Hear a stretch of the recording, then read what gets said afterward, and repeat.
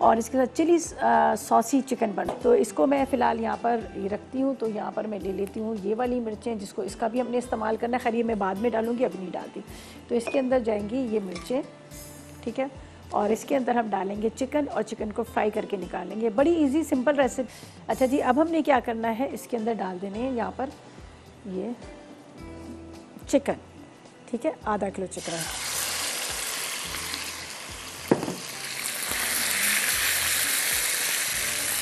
थोड़ा सा मैं इसमें नमक डाल दूँगी। ठीक है? थोड़ा सा नमक।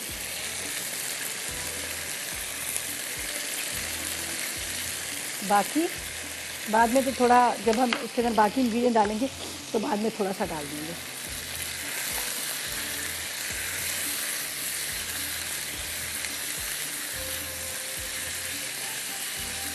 इसको करती हूँ कवर, इसलिए कि ये थोड़ा सा मुझे गला होना भी चाहिए। तो इसको मैं थोड़ा सा कवर करूँगी ताकि इसका पानी जो है वो ड्राई हो और चिकन जो है हमारा बहुत अच्छे से गले मैं उनको भी कहती हूँ भाई आप लोगों ने ज़रूर पोलियो की कतरे पिलाना है। अच्छा जी, यहाँ पर ये हो गया है। ये देखें इस चिकन को ड्राई करना है। अब मैं इस चिकन को निकाल दूँगी। थोड़ा सा गल भी गया है और साथ में क्या हो गया कि ये यहाँ पर इसका पानी भी ड्राई हो गया। हल्का सा हुआ है। चलेंगे। ये अब इसी के अंदर जाएगा थोड़ा सा ऑयल अच्छा मैं आपको बता दूँ, पहले मैंने ये चिलीज थी, इसको चिली को बर्न किया ऑयल के अंदर और फिर उसके बाद मैंने इसको इसके अंदर डाल दिया। अब तकरीबन वन टेबल स्पून ऑयल और मज़ीद जाएगा, ठीक है? यहाँ पर जाएगा फ्रेश वाला लहसुन। इसको लहसुन को चॉप करना है, ठीक है? थोड़ा सा ऑयल गर्म होता है, लहसुन को चॉप करके ये हम इसमें डालेंगे और ये फिर चिकन जाएगा। यहाँ पर आपको नज़र आ रही है, मेरे पास है हाउस ऑफ़ समरा की, यहाँ पर प्रोडक्ट्स नज़र आ रही है। फ्रेश स्ट्रीट की इसका इस्तेमाल करेंगे और बड़ा मज़ेदार सा ये जो चिकन है, इसको तैयार करेंगे। राइस के साथ सर्व किया जाता है, बहुत मज़ेदार लगता है, ठीक है? तो इसको यहाँ पर मैं लहसुन को डालूँगी यहाँ पर। थोड़ा सा इसको फ्राई करेंगे, ठीक है? गार्लिक का बड़ा अच्छा सा एक फ्रेश गार्लिक का वैसे ही बड़ा ज़बरदस्त सा एक अरोमा आ जाता है। अच्छा यहाँ पर हमें कुछ जो सब्ज़ियाँ चाहिए, ये मेरे पास चिलीज़ है, इनको भी मैं ले लेती हूँ, इनको भी दो दो हिस्से कर लेती हूँ, कटिंग कर लेती हूँ। ज़रा से बड़ी बड़ी कटिंग करके डालेंगे ताकि ये नज़र भी आए और दूसरा ये कि इसका फ्लेवर भी आए। इसलिए कि हमने इसमें रेड चिली पाउडर नहीं डाल रहे हैं, इसमें सिर्फ़ ग्रीन वाली चिली डाल रही हैं और दूसरी वाली जो, ड्राई वाली चिलीज़ थी, वो मैंने डाली है। तो इसलिए इसके अंदर सिर्फ़ हम यही डाल रहे हैं। देखिए ये बाद में डालूँगी। थोड़ा सा गार्लिक फ्राई होता है, वापस ये चिकन इसी के अंदर जाएगा। अच्छा इसके बाद मुझे प्याज भी चाहिए। प्याज को भी हम इसी तरह से कट कर लेते हैं। क्यूब में कटिंग कर लीजिएगा थोड़ा सा ये देखिए। चलिए। अच्छा ये इसको अभी, ये फ्राई हुआ, इसका कलर आया, वापस जाएगा ये चिकन थोड़ा सा इसको स्लो करना है।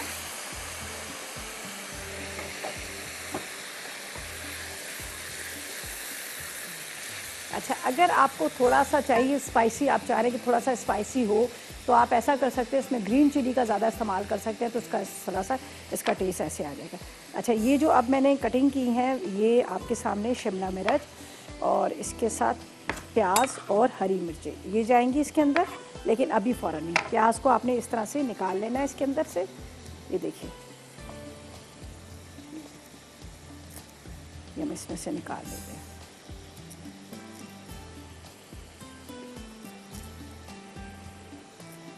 सारे इस तरह से हम निकालते हैं।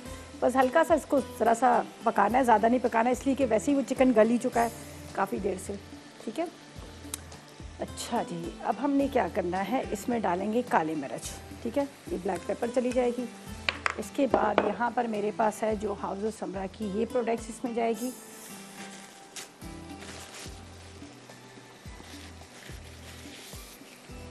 अच्छा वैसे अभी जिस तरह से अभी सर्दी स्टार्ट होने वाली है तो यहाँ पर इनकी हाउस समरा की जो सिबलू है, जिस तरह का आपको नज़र आ रहा है, यहाँ पर टूना फ़िश वगैरह, इनकी ये भी बड़ी ज़बरदस्त सी इनकी जो प्रोडक्ट्स है, वो भी बड़ी ज़बरदस्त सी है। सर्दियाँ जब स्टार्ट होंगी तो आप देखिएगा, इनका काफ़ी चीज़ों का मैं भी इस्तेमाल करूँगी। अच्छा जी, अब मेरे पास ये देखें, ये चली जाएगी इस पर सब्ज़ियाँ। यहाँ पर हम इसमें डाल देंगे, ये मेरे पास है, सोया सॉस, ठीक है? डार्क वाला सोया सॉस है, बड़ा अच्छा इसका टेस्ट आता है। अच्छा इसके बाद यहाँ पर मैं डालूँगी बारबेक्यू सॉस ठीक है?